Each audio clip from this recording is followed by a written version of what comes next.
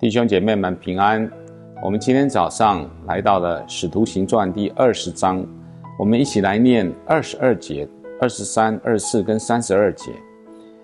现在我往耶路撒冷去，心甚迫切，不知道在那里要遇见什么事，但知道圣灵在各城里向我指证，说有捆锁与患难等待我。我却不以性命为念，也不看为宝贵，只要行完我的路程，成就我从主耶稣基督所领受的职事，证明神恩惠的福音。To testify the gospel of the grace of God。第三十二节，如今我们把你们交托神和他恩惠的道。I commend you to God and to the word of His grace。这道能建造你们，叫你们和一切成圣的人同得基业。我选的主题是神恩惠的福音 （Gospel of Grace of God）。我的想法是，本章圣经的内容是保罗第三次宣教之旅的回程。保罗已经感觉到他将要被捆绑，很可能跟弟兄姐妹们是最后一次见面了。所以，对以弗所这个他刚刚建立出生的教会。他心所爱、所挂念的，他就请以弗所教会的长老来，给了他们相当于临终托付，从十八节到三十五节，这也是神给所有教会里参与服侍的弟兄姐妹们的托付。这里提到了四个重重点。第十八节讲到了保罗说他始终一致的为人，What manner I have。been with you at all seasons，就是我们一直要有正确的待人处事的态度。在第二十到二十七七节，保罗提到了要传讲教导神的道。在二十八到三十一节，保罗提到了要谨慎警醒的保护群羊。在三十三到三十五节，保罗提到了面对财务的态度要做圣徒的榜样。在这里，保罗宣告了他的执事 ministry。是见证神恩惠的福音，Grace of God，神恩惠的福音。他所传的福音是神恩惠的福音。他也把这些圣徒交托给神和神恩惠的道，The Word of His Grace。这应该是我们的执事，也是我们所传的福音。神恩惠的福音和恩惠的道是什么意思呢？恩惠或是恩典是什么意思呢？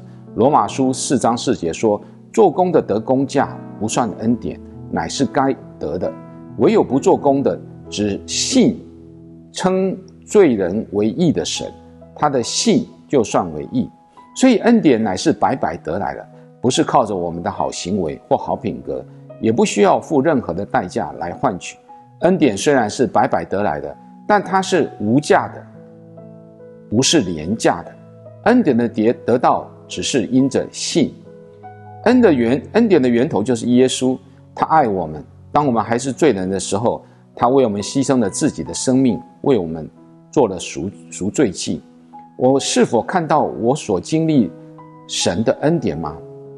要能看到神在我身上的恩典，我才能胜过罪的吸引力。我们所传的福音，不是只是在解决人的问题，或使使别人更快乐。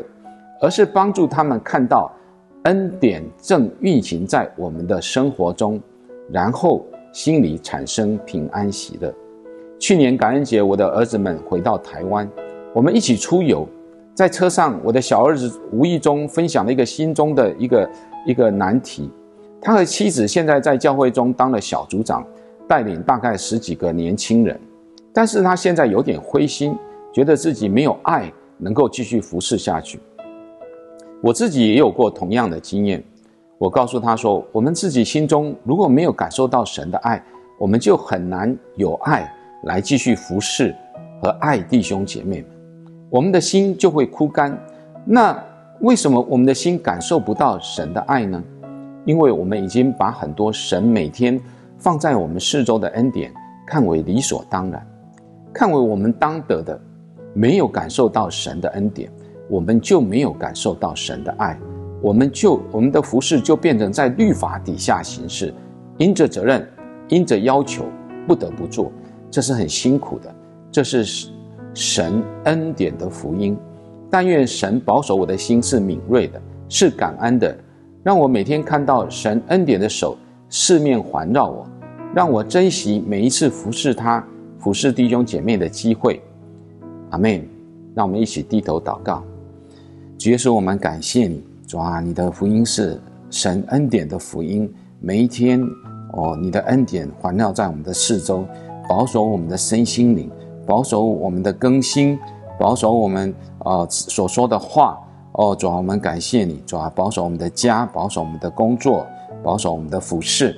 主耶稣，让我们每一天都能够感受你的恩典，四面环绕我们，赐给我们哦你的爱。主啊，让我们有爱心，能够服侍人，能够把一切荣耀归给你。靠耶稣基督的名祷告，阿门。